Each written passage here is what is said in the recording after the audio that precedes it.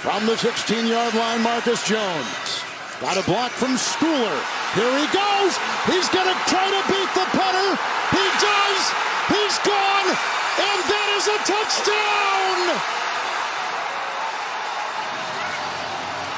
touchdown. Bank Stadium.